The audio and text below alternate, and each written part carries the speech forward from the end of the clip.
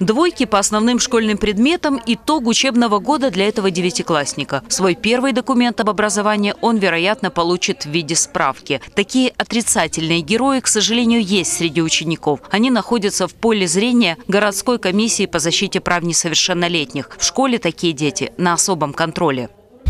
На начало учебного 2016-2017 года на внутришкольном контроле состояло 5 учащихся. В течение года было поставлено 7 учеников за различные нарушения, пропуски занятий без уважительной причины, девиантное поведение, неуспеваемость.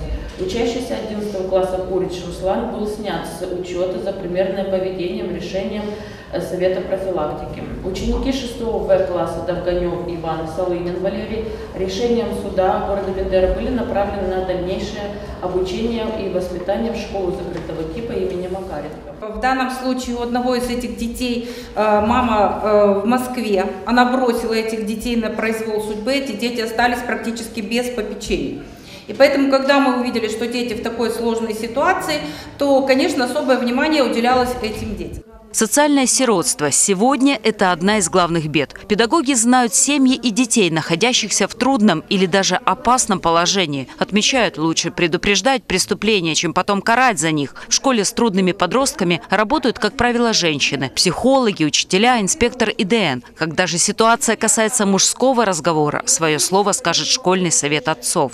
Для вот таких особо э, трудных детей мы попробовали привлекать отцов из благополучных семей, э, из семей, дети которых воспитаны для э, бесед, для разговоров, потому что зачастую те семьи, э, в которых растут дети, э, совершающие правонарушения, они неполные, неполные семьи. И вот этот совет отцов пробовал. У нас очень действенная была такая работа в седьмом Б-классе, когда э, родители, отцы седьмого Б-класса проводили беседы, потому что там сложный класс, трудный класс, где требуется.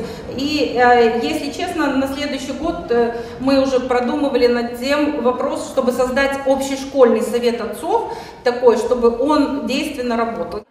Члены комиссии провели беседы с каждым из учеников, стоящим на внутришкольном учете. В разговоре приняли участие и родители. Замглавы города рекомендовала и другим школам перенять опыт создания Совета отцов. Также необходимо усилить меры по борьбе с курением, говорили на встрече.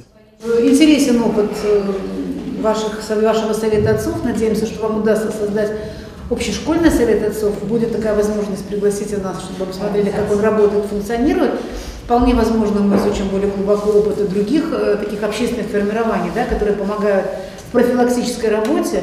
А вот будем рекомендовать их использовать другим школам.